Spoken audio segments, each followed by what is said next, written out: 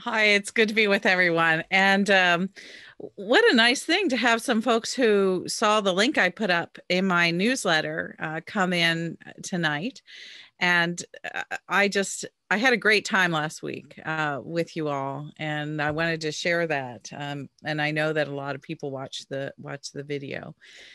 So uh, here we are. Oh my gosh, the second week. I I had kind of quite a day um, our dog is sick. And so he had to go and get an ultrasound, and we think it's a benign tumor. So if anybody wants to pray for Diana's dog, it's looking optimistic, but um, I, I, it's so hard when your when your pet is not happy. What's your dog's name? We all we all believe in praying for animals. Well, okay, everybody here is gonna laugh. His name is Rowan yeah, he was named after the Archbishop of Canterbury. Rowan Williams knows that I named my dog after him. He's okay with it. so, um, tonight i actually have been looking forward to sharing these two chapters uh, with you all in particular i think these these two chapters speak not only to our experience as individuals but also this is sort of the heart of Southern culture. Uh, chapters three and four in Freeing Jesus uh, take place in my uh, adolescence and early uh, young adulthood. So the the two chapters run from about age 14 up until um, age 22 or thereabouts. So it covers high school and college. The images here and the central these central two chapters uh, are familiar ones. Uh, jesus as savior and jesus as lord. As a matter of fact i say in the book itself that if you were to go down the street and ask people who jesus was nine time nine times out of ten i bet especially in, in atlanta uh, you get the line that hey jesus is the savior. And so that's a such a common, common image. And the same goes for Lord. Uh, we think about that word a lot. And as a matter of fact, the confessions that we have in the gospel narratives, when we get to the point where Jesus says, Who do you say that I am? Uh, most of the people who are who kind who get it right um, say something about Jesus uh, being Lord. And so two familiar images, um, images of culture and images of creed.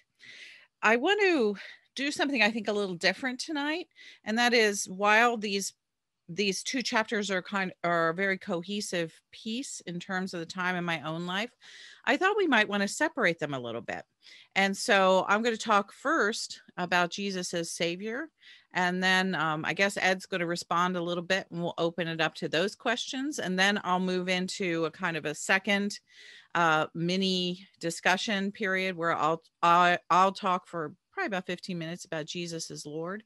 And then we'll do the same thing. Just because I thought there was so much here uh, that people would have trouble um, keeping track of all their questions through both halves. So let me just begin then with a, the Savior chapter. Uh, there are a, a whole number of things that surprised me about writing this chapter. You know, first of all, I share a story that I didn't realize was so uh, much a shared uh, response to a very familiar prayer. And that is, I tell the story about how when I was a little girl, my mother used to sit at my bedside and pray every night with me. Uh, the now I lay me down to sleep prayer with about Jesus, and I tell how that terrified me. and how it scared me to think uh, that it was something that I would die, you know, in the middle of the night, and and that my mom thought that that was okay uh, to pray with me before I went to sleep. And so I I did grow up, um, even though not a lot of people who I knew had died when I was a little kid. My grandfather did die when I was 10, but other than that, uh, I my grandparents were all all the rest of them were still alive. There were there was no one who was a friend who passed away or anything like that when I was a little kid, but I was really scared of dying and um, it was I, I really don't know where it came from. Something about that prayer or something about uh, just sort of the way that I w- that I was made. And so those those questions about death really uh, troubled me from from a very young age. So so that's the way the chapter opens, and um, I think that lots of us uh, might experience uh, Jesus as Savior first of all through uh, some sort of longing to understand about death or heaven and hell, uh, whatever comes next. And yet, even with that sense of longing and with my own questions, probably the most shocking thing that I found while I was doing the research for this chapter. And I don't think I ever realized this, and I'm not sure if you realize it or not, but Jesus is only called Savior twice in the Gospels. And I literally had to go back when I read that in in some commentary. I had to go back and check it for myself because I was not sure that I believed it. Since the title is so familiar, I was positive that it had to have been something that Jesus was referred to more often. But instead, as I mentioned last week, the most used title for Jesus in the New Testament by his uh, in the Gospels by his friends is the title title teacher. And it's interesting because our culture has, you know, flipped those two things around. You more often hear Jesus called Savior, and it's become a much rarer thing, I think, to hear Jesus talk talked about as um, as teacher. So I wanted to share uh, a, a, story from this chapter to sort of take you to a, a place. Um, Scottsdale Bible Church in Scottsdale, Arizona, in the middle part of the 1970s, the time in which the nice Methodist girl of chapters one and two uh, ran into her first ever. I literally had never run into anybody who was an evangelical or a fundamentalist um, up until then. There were Pentecostals in my universe when I was a little kid because my grandmother, who passed away uh, when I was what well before I was born, um, and I had a step grandmother growing up, but my my my biological grandmother, uh, she had died when she was 26, and she had been ordained to the ministry as a as a preaching a lay evangelist uh, by Aimee Semple McPherson in a Pentecostal revival um, in the early uh, 1920s. And so she was kind of an amazing person. And her brother, uh, my great uncle, uh, became a Pentecostal minister. He was also ordained by Aimee Semple McPherson, and he founded the first ever Foursquare Gospel Church in uh, Ellicott City, Maryland. And so we had this sort of stream in our family, but everybody else was Methodist or Lutheran, and um, all the Methodists and Lutherans kind of looked over at the Pentecostals and said, "Hmm." And my mother used to refer to them as our holy roller relatives. And so that kind of gives you a sense of how my parents viewed um, that kind of enthusiastic uh, forms of Christianity. So we just didn't know anybody except for these few relatives um, who were parts of these churches. Yet when we moved uh, from Maryland to Scottsdale, Arizona, when I was 13 years old, everything shifted. And one of the things that changed is that my parents had my brother and I confirmed in the Methodist church, and then they quit church. And so I am always very skeptical of people talking about how just now folks are quitting church because my parents quit church in 1974, 1975. They just stopped going. And that meant that we as teenagers, the three, uh, the, us three kids, we were sort of lost and we had to fend for ourselves spiritually. So let me just uh, read you a little bit about uh, an encounter that I had with my friend Phil I don't identify him here, but later on, Phil went off to Cambridge University, has a PhD, and uh, he founded one of the largest mega churches um, in South Central Pennsylvania, a church of around 10,000 people uh, now. And uh, we've we've actually stayed friends um, all these years and had some vigorous and exciting arguments along the way so uh, phil have you been born again my friend phil asked me several weeks later that was after i sort of came to this personal realization that jesus was indeed my savior and so phil continued confessed your sins given your life to jesus is jesus your savior y- yes I replied somewhat sheep- sheepishly. Where? When? He wanted to know. I knew he would want a place and time. You had to have a testimony to fit in. I hesitated telling him that I had not confessed my sins, for I was not convinced that I was a sinner in the ways that my new friends seemed to expect. There were heartbreaking stories about drugs and sex, about hating parents and pride, about cheating on tests and shoplifting, about lying to teachers and beating up sissies in the locker room. I had no idea that high school was such a soap opera, and I had studiously avoided all of those sins. Sure, I had broken some rules, including getting in some bad arguments with my brother and rather shamefully having stolen quarters from my mother's dressing table. Maybe I was overly proud of my good grades and a bit judgmental about my friends' parties and drinking, but these things did not seem to qualify as the sort of big sins uh, that Scottsdale Bible seemed to expect. Maybe I was not bad enough to get saved. I was a good girl, obedient, generally kind, helpful, aghast when people were not nice. That was like I thought the biggest sin in the world people not being nice. I took after my mother that way and always wanting to do the right things. Uh, yeah, yes, uh, yes, I replied again, thinking about his question. I did not have a litany of sins to confess, but I did trust that Jesus was my savior. Sin was not my problem as much as feeling lost dislocated, separated from everyone and everything I knew and loved, cut off from my roots, unsure what to believe, even if the ground under my feet was hard and unyielding. I did not tell Phil how my uncle, after he arrived from Baltimore to visit, used to invade my bedroom at night. No, I did not sin. I was sinned against. At 15, however, I was smart enough to figure out that Phil would say that my lack of forgiveness was a sin. Years later, I would come across these words from Jesus scholar Marcus Borg. Quote, some people do not feel much guilt. Guilt is not the central issue of their lives.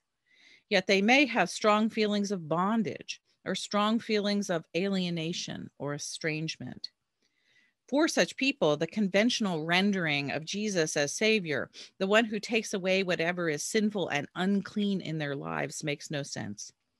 Borg insists, however, there are other things from which one needed to be saved victimization, meaninglessness, suffering. Jesus offers the quote, good news of coming home from exile in the wilderness. And he continues, for some, the need is liberation.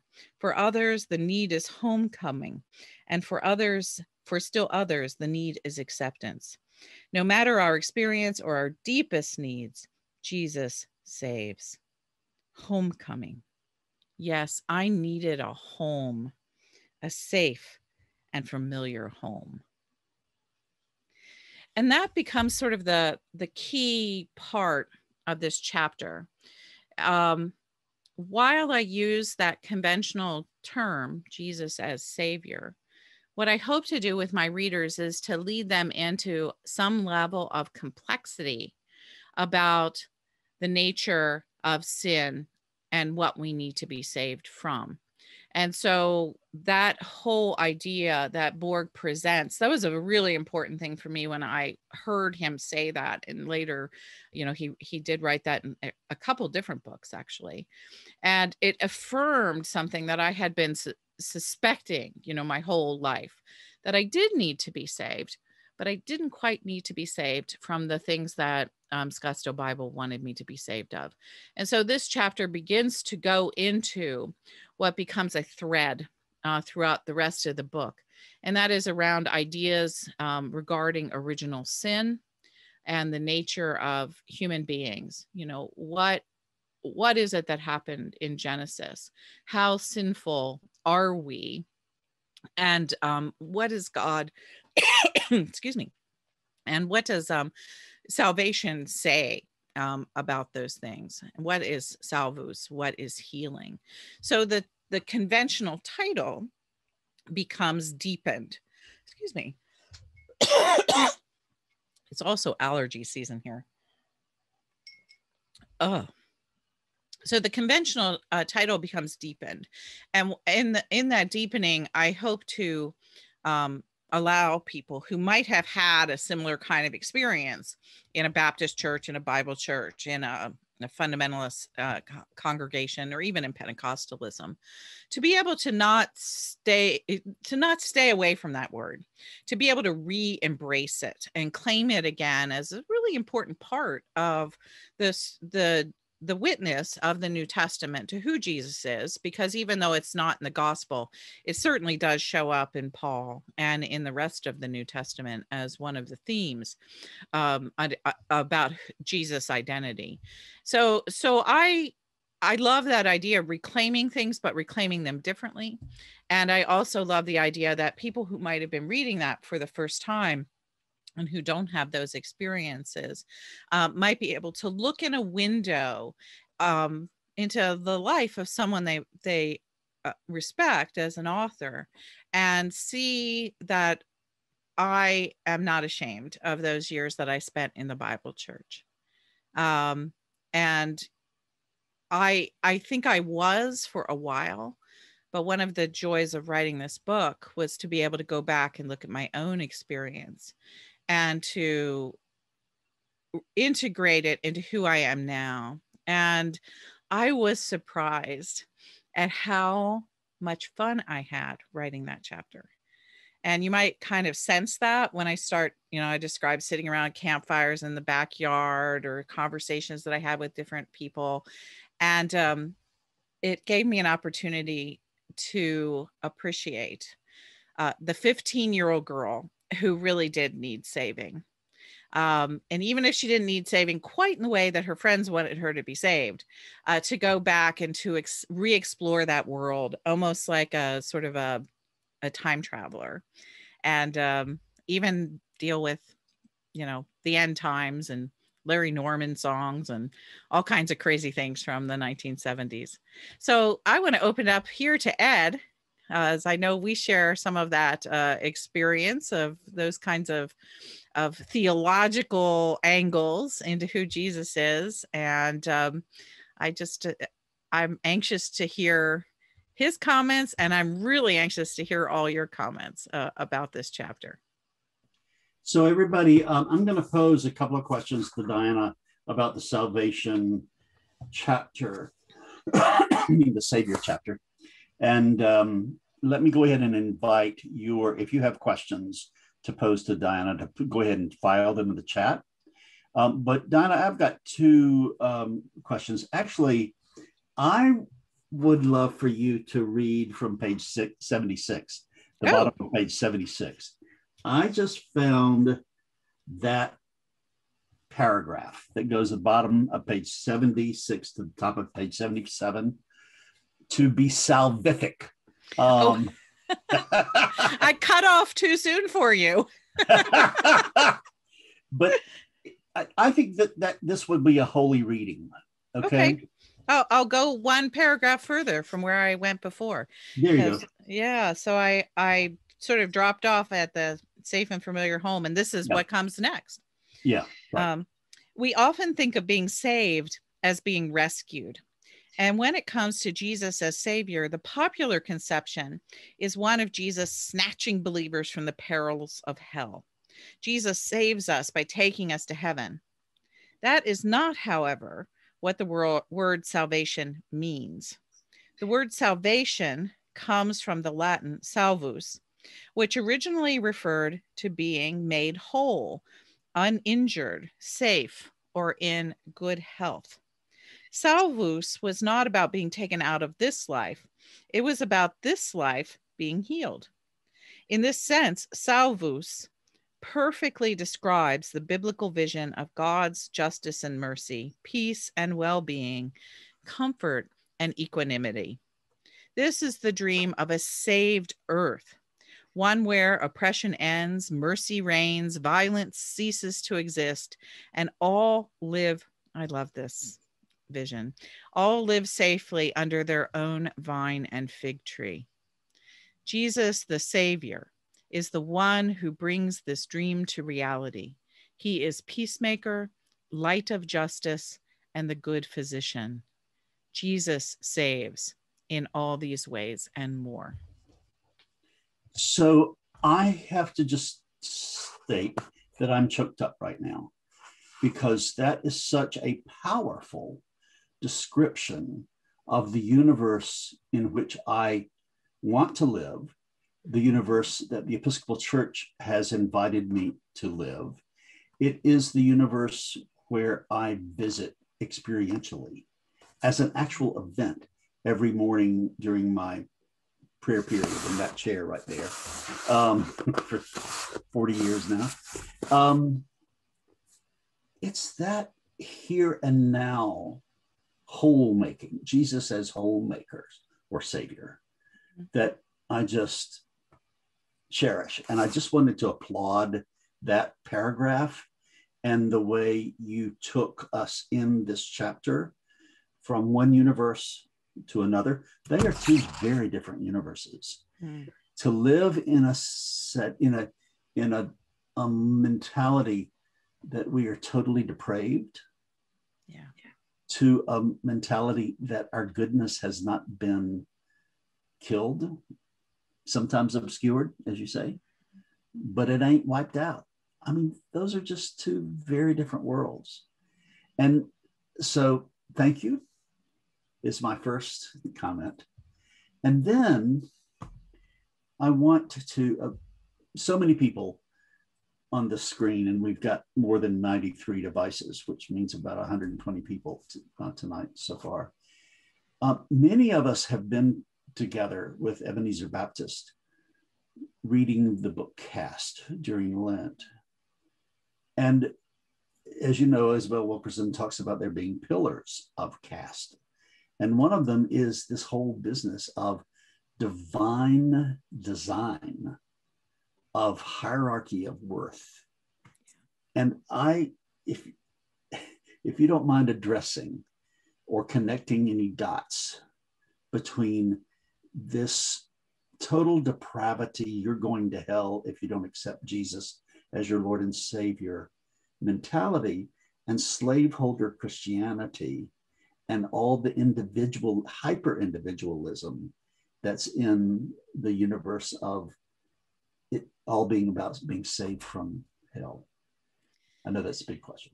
Yeah, but it's a good question because that was the harder aspect uh, in some ways of this whole experience when I was 15, 16, 17 years old. Um, there is in these two chapters the the warm memory of me reclaiming the 15 year old Diana. There is also the voice of all these different people in Scottsdale Bible's universe, and then the universe of the, the evangelical college I went to. And um, those those voices are both i mean it's, it's, fascinating to me to think back at this time because there were things in those voices that were very liberative. They were they, they they really truly did liberate me. They really truly did help save me. Uh, but then there was all this other stuff that came a, a, a, around with it. And that was the stuff that was really difficult to to deal with. I did not tell this story in this book, but I think I told it in another book, and I've certainly used it as an illustration in sermons and other places um, over the years. And that is one of the things that happened at this church, Scottsdale Bible, is that there was part of the attraction for me to this to this church was that there was a group of us as teenagers that met and we ran our own Bible study. And um, it Phil he was just, you know, he was in the year ahead of me at Saguaro High School in Scottsdale, Arizona. And he was just a tremendous uh, sort of uh, Bible teacher. at 16 years old. And so we would go to this Bible study. It was about 40 people. It was kind of like a young life group. People I know would be familiar with that who are part of this world. And um and he would teach, but not every week. It was interesting. Phil would vary it and different people would teach and sometimes even even the other girls would teach. And so it was a very free flowing um, non-hierarchical kind of environment that the teenagers constructed uh, for themselves. And I think it was one of the most radical experiences that I had of the priesthood of all believers, or it was certainly the most radical small group experience that I had had up to that point. And um, so that was that was life giving and a lot of the the good comments from this chapter come from that that bible study when i was a junior the church just i think they decided that we were a little bit out of control. And they got us a, a youth group leader. And uh, his name was tim kimmel. I think he's still alive. Um, he's he wound up writing a whole bunch of uh, popular books about the family um, in evangelicalism. And um, he was what you describe. And so uh, i'll never forget going to bible study this place that that i loved and found so much freedom and once tim had come we'd still all have bible study together and he taught it. So he wanted total control of it. He didn't allow anybody else to teach. And then after the bible study he divided the room up into boys and girls. And um, hey, I came from Methodism. I, I didn't know what they were doing.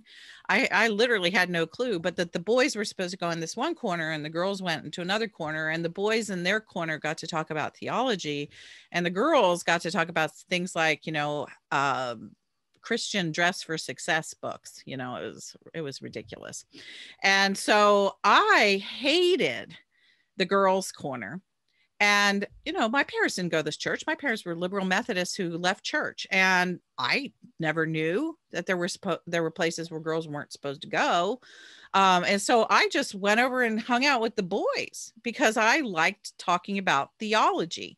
And uh, for whatever reason, Tim didn't kick, kick me out um, he let me stay, and I would be the only girl sitting in the boys' corner talking about predestination, original sin, all these things. It was like going to seminary with a guy who was a professor from Dallas Theological Seminary. And so one day after the Bible study, he came up to me and he was talking to me, and he said, You know, you're really good at theology. And I kind of looked at him I never thought, you know, I didn't even, I'm not, not even sure I knew what the word theology meant, you know, at that point in time. I, so I, I was good at it, whatever it was. And he said, yeah, he, he said, it's, um, it's too bad that you're a girl because if you were a boy, you could go to seminary. And I mean, Ed, you have a pretty good sense of this. I was just rebellious enough. I mean, this is maybe what I, they wanted me to repent of at Scottsdale Bible is that I thought to myself, well, hell, I'm going to go. I didn't know what a seminary was, but um, I thought, well, if I'm not supposed to, I think that's where I should probably wind up. And so, um, so I did. But that was the first real intrusion of that world of these of this order upon my universe. And so it happens there too. And so the the contention you can kind of see the tension and the contention just start to sort of build in my own soul with the questions that i begin to have. And so that that becomes i think uh, when you run that next to caste you know it it really truly is you know part of this universe um that there is a divine order. And that order is based on hierarchies of of race gender and class frankly. And sexual orientation? Um well you know back in those days oh i see. I mean nobody even i mean certainly it would right. um because you know when people refer to i mean i'm thinking about how people refer to gay folks back in those days in that setting and please anyone you know who is on this call who happens to be the lgbt community nothing you haven't heard. Um, what those people would have said at that time is they would have linked um, lgbtq orientation identity desire to um, animal appetites Yeah. Yeah. and so that would of course mean that um, gay people were less than human Right. and so that would put them they didn't have to have their own slot they they just got put all the way down at the bottom of the pyramid and so so that is was part of this world but it was interesting that there was also part of this world that was not that and that we as teenagers sort of stumbled into the not that part um, kind of all by ourselves. And then the grown-ups realized that we had to sort of be brought a bit more under control by putting in a, a new youth group leader. And then there were uh, some of my my young some of my friends, my female friends, there was uh, like my best friend Teresa, who also went to this church, she was more like me. She she came from on her own. Her parents went to some other church in Scottsdale, I think a UCC church, and they were kind of horrified, like my parents were, that we were going to this Bible church. Um, but Teresa winds up being um, ordained. Um, she she's a ordained Mennonite pastor. She's a great human being. Went to Fuller Seminary. All these kinds of things. You know, no bone of hierarchy in, in Teresa's body. But then on the other hand, some of my other girlfriends were sent by their parents who were members of this church to Bill Gothard seminars. And for those of you, eh, I, I see a couple faces who are just like going, because Bill Gothard seminars were like getting sent to military school for gender. And so they were these these like week week long boot camps that had these these workbooks that came out of them. And then you go back like the next year for another week and then you go back another year for or uh, the next year for another week. And it was all about learning your place in the hierarchy and bill gothard seminars were. I mean i have friends that i don't know that they'll ever recover Yeah. from having been sent to those things. And and so so that was what this world was like. Um and you asked the bigger question about history and what i what i know in my capacity as a person with a phd in american religious history is that that was nothing new for evangelicalism to have that contention around jesus as savior because when evangelicalism was first introduced in the american south the people and, and this is in the 1700s the people that it appealed the most to were women and enslaved people. And the the liberation aspect of evangelicalism especially over and against the orderliness of anglicanism. The the liberation aspect of particularly the methodist message um just it set the south on fire. And when it when it did that all of the sudden you had basically um, enslaved people who were uh, preaching, who were demanding baptism. You had women who were out of their place, who who were praying in public, who were being disruptive of Anglican churches, all of this sort of stuff. And so, the earliest impulse of evangelicalism in the South was to overturn um, the hierarchies, and it took about so at first the, the people who hated it most were anglican patriarchs which were mostly white men who happened to be plantation holders very wealthy men business owners things like that. Um, but other people got scared too. And eventually uh, within a about 30 or 40 years of the first introduction of evangelicalism to the south to around 1801 uh, even evangelicals themselves begin to mute the message because they get scared of the rabble rousing potential, especially re- related to slavery. And so they started clamping down and they started to echo the sort of older hierarchical view of the world more than the powerful uh, sort of priesthood of all people, uh, a new age has come uh, kind of vision of the first generation of evangelicalism. And so I think of it as a tremendously sad story. And in some senses, the, the academic story of evangelicalism echoed in my own experience. So I run into it. I run into evangelicalism. I had no experience of it. And when I ran into it, it was like, Jesus set me free. And I literally say that in the book. Jesus, you know, Jesus uh, became my savior um, with a little help from Yale locks to keep my uncle out of the out of my bedroom. And so, uh, so yeah, it was powerful. And yet, the new youth, the new youth pastor, you know, and that that's the the the compulsion, I think, of evangelicalism. It's like, yeah, set people free, but we gotta put them back in jail. And so freeing Jesus, of course, becomes Yeah. you know Yeah. one of the places the title comes from, frankly.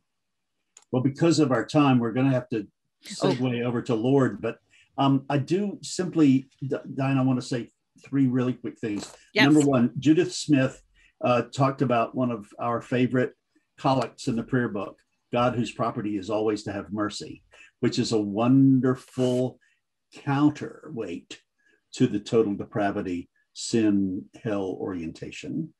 There's nobody outside the blanket of God's property, which is always to have mercy. The second thing I wanted to say is the section in the Savior chapter about the Celtic Christianity teacher is amazing. And that she came into the class, and the first thing she did was light that candle and pray that Celtic prayer. I'm just file by title. Everybody, please go to that chapter and read that. Stunning. And then also, Diana has a People's History of the Church book, um, uh, the Howard Zinnification of Christianity, where she tells the real story. And she's alluded to that just now. In, so you can get your Christianity set straight by reading. What's the official title of that book? It's actually called A People's History of Christianity. okay. Yeah, it was it, the original title was um I, I wish we would have called it this. Uh, oh gosh, uh Jesus Jesus after after Christianity or something like that. It was it was a really clever title, and uh, I I really liked it. It was about the other side of the story, and Yeah. so yeah, we so we set kept the other side of the story as a as a subtitle, but yeah. People's And history Christianity. And, And yes, that was an amazing, she was an amazing person, an Episcopal priest and a Oh, yeah. PhD in medieval history, a noted feminist scholar. And when she did that thing with the the liturgy, the Celtic liturgy in that class, uh, she blew my mind. I was actually sort of terrified of her. And um, yet it was so, she drew me in so deeply. And years later, um, she found one of my books and she she read it and i had mentioned something about her in in some other this other book and she sent me a letter and we Oh, re- we reconnected and i'm not sure she's she's still alive she's very old now um, and she had been a priest in vermont for many years way up at the canadian border and she sent me as a gift one of her her childhood prayer book wow. and so I have that right here in my office. And it was a token of connection. And I got to thank her. Yeah, that's Yeah, It was it was an amazing mo- moment. And I love when life takes us in those places. Mary Kay posted in the chat that uh, it was the, in evangelicalism that she met Jesus. And the fact of the matter is, there is a sweet Jesus, a very sweet, what I call a Mhm. Methodist oriented Jesus, not a Baptist oriented Jesus, in evangelicalism who really does love us. And so, but let's go to Lord, please. well, the both of these uh, chapters introduce some level of tension that Again here with the Lord title, I see something that is incredibly positive, and I tell this by this is probably my favorite set of memories from college. When I so I I go from the Bible church and I go to an evangelical college in California, Santa Barbara, California, uh, that Ed knows. And uh, so I'm always a little reluctant to mention them by name, but you can look them up. And I do thank them in the acknowledgments. Um, but um, my favorite set of memories has to do again with a group that was run primarily by students and it happened in my sophomore year and if any of you went to an evangelical college this is an incredibly common story is there was a revival there are always revivals at evangelical colleges. And um, and the one that was most uh, sort of famous in the four years i was there was this one. There were these two guys jimmy and john and they read the verse about how christ jesus calls us to to pick up our crosses follow him and to die to ourselves. And they were just like struck by lightning as if they were both john wesley. And they uh, wanted to figure out what it meant to die to self. And they started this bible study in a in a lounge um, that was the dorm where i happened to live. And before we knew it there were 70 80 90 people uh, on an evening at this bible study. And the whole focus was what does it mean that Jesus is Lord and not just Savior? And so we began this journey of exploring that together. And the tension that emerges in the chapter is the most sort of accessible idea of Jesus as Lord in this evangelical college was one that I have held on to my entire life.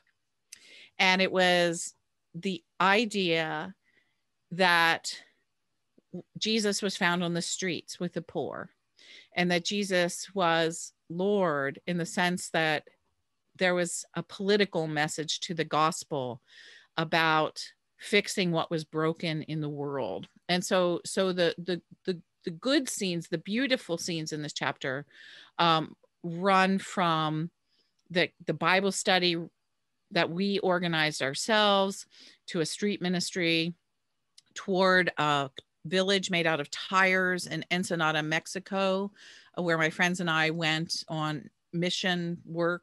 We were building actually an orphanage there. And um, we did that all ourselves. Nobody told us to do it. We simply started this project. It became called Potter's Clay. And uh, by the time I graduated from college, there we had organized three to four hundred students a year to go down into Mexico and plant gardens, help uh, people with issues related to ecology and environmental cleanup. Uh, did we're building this orphanage and we were preaching in churches and leading groups of little kids uh, in sunday school kinds of classes and doing vacation bible school with little mexican kids.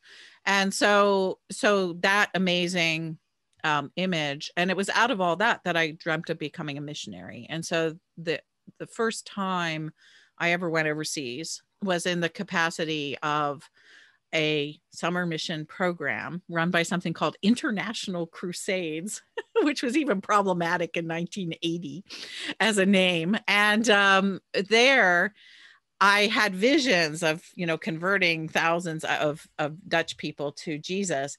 And I didn't wind up doing that at all. Instead, I wound up uh, in the kitchen of a really old man, uh, cleaning up the worst, filthiest, kitchen environment I have ever seen in my entire life. Um, and it was part we did it under the auspices of the Dutch uh, government has a social service network that people can volunteer for that goes into the homes of the elderly and the disabled and does tasks for them that they can't do. And so the mission or missionaries were smart enough to figure out that nobody really in Holland wanted to hear their gospel.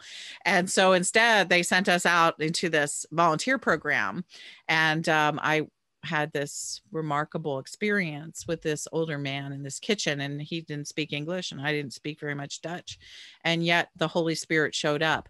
And those stories constitute what i now know to be a vision of the kingdom of god and that the lordship of jesus is located within kinship how we are all related to one another, our connection to one another. And I explore in that whole section the kinship of us with God and the relationship between the word kin and kind and the image of our kind Lord that emerges out of Julian of Norwich.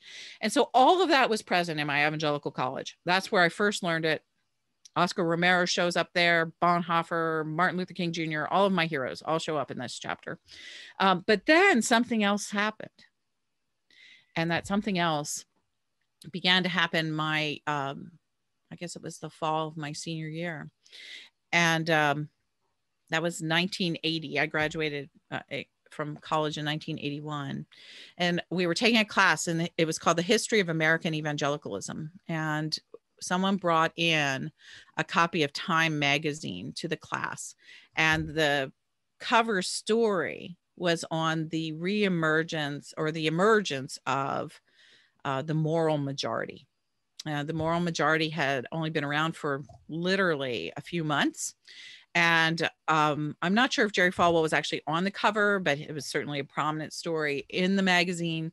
And the my classmate held them, held it up, and we all looked at it. Here we are in Southern California, and I refer to the kind of evangelicalism that was very prominent in Southern California in the 1970s as the sort of radical ed- West Coast edge of the of the hippie Jesus movement and I and I, I call it the the last faint golden glow of 1970s evangelicalism in California. And so we're all that sitting in this classroom and we look at this picture of Jerry Falwell and Thomas Road Baptist Church and people there waving flags and wearing red, white, and blue outfits. And literally, it was as if somebody had sent us back in a time machine. We were all, we're, we're 18, 19, 20 years old, and we are all laughing at this photograph. Like, who could ever believe that? And where the hell is Lynchburg, Virginia? And, and, and, and, what who who is this clown and so we were making fun of it and the professor who was a little wiser than we were because we were all southern california arizona Portland, Oregon people, you know. And um, the professor said, Oh, no, you have to understand. Uh, if you ask somebody they're an evangelical, pretty much anywhere uh, east of New Mexico, um, this is the kind of evangelicalism is that's part of it. And um, and and you need to understand that that's it's pretty common in a place like Southern Virginia. And we looked at it and we thought, no way. And yet, within just a couple months, you know, and, and the way that chapter ends, I talk about how Pat Robertson and Jerry Falwell are at the inauguration of Ronald Reagan, and Oscar Romero has been shot. And what it does is it sets up what becomes a tension that we all live with still today is that evangelicalism had the capacity of understanding the gold glow of radical evangelicalism that would look with friendly eyes towards Oscar Romero. But this different idea of lordship, the hierarchy, the orderliness, the patriarch re- reintroduction of patriarchy, um, all of those things. That was what won that election. And that idea of Lord, Jesus as the domineering Lord, the ruler to whom everyone will submit. That's the other idea of Lord. And it, it, it just came to such a head in the 1970s. And I was just a, you know, college student, just naive college student, watching all that happen. And yet that argument would wind up having a huge and profound impact on my own life. And so, Savior and Lord contention around Savior, and then an outright war within evangelicalism over the nature of what the lordship of Jesus meant.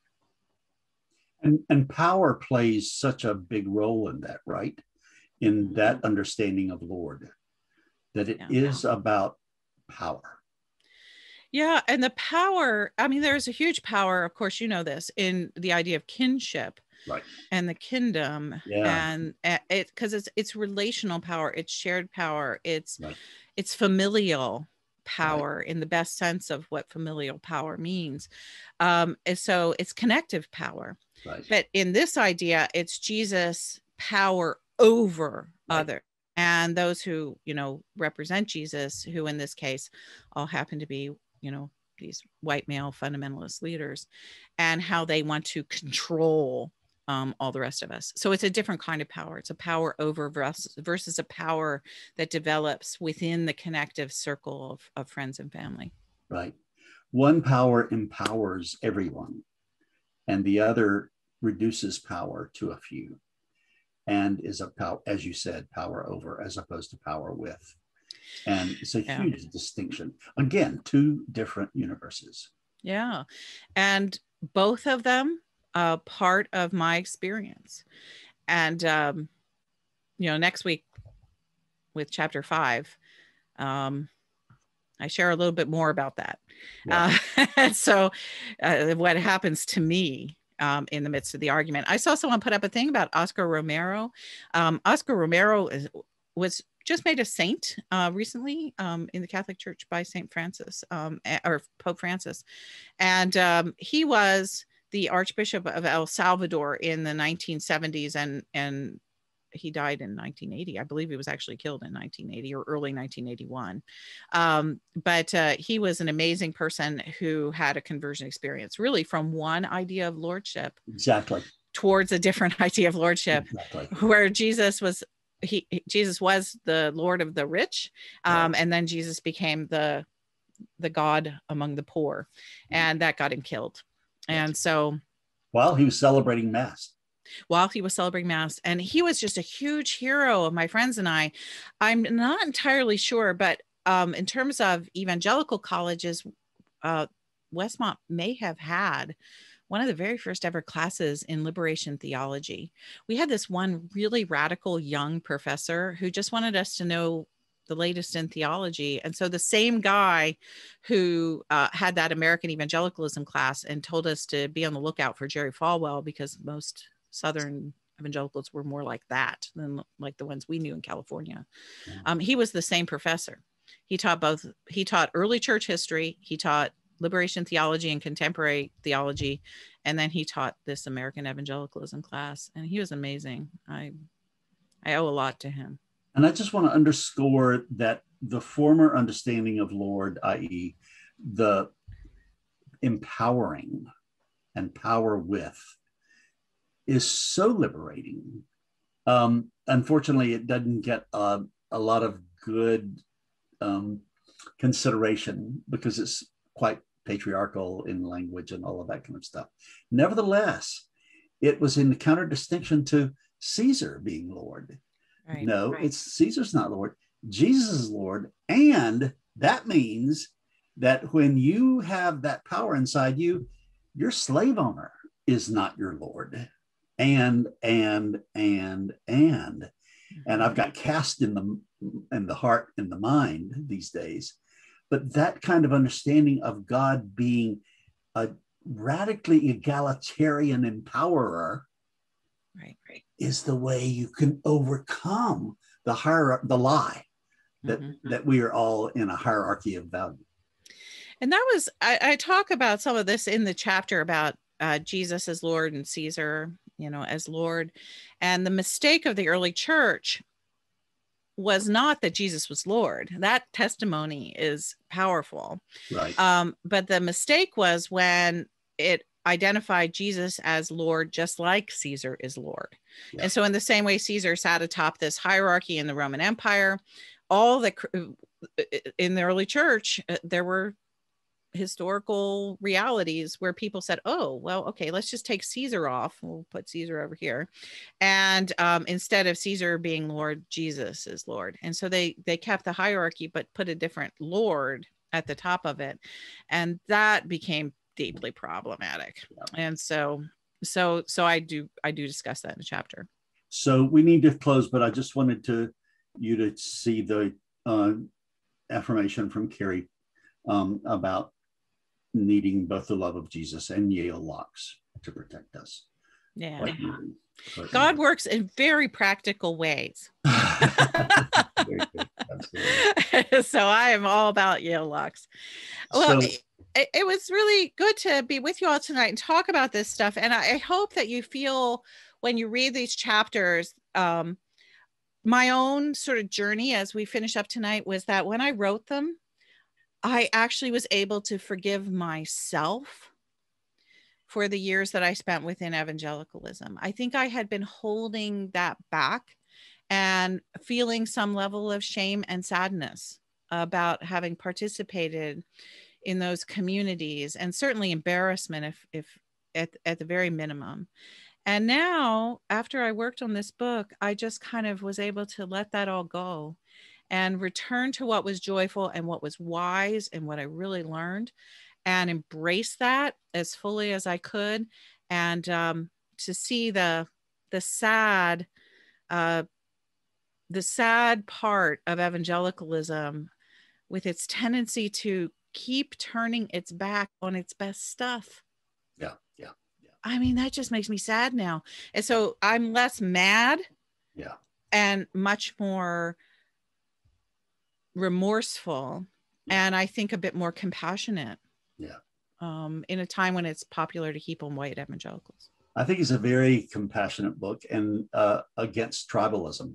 And uh, it's at least two books. It's a great memoir and it's also, no, it's at least three books. It's a great memoir. It's a great Bible study book. And it's also a great book of theology. And for you to weave it all together, I'm really grateful. And I have this collegial relationship with my director of music. I must keep up so I can yes. let this choir member go. So thank you, Diana. We'll see you next week.